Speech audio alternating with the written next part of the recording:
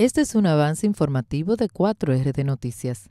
Más de 120 supervisores del Ministerio de Turismo vigilarán el protocolo sanitario en los hoteles del país.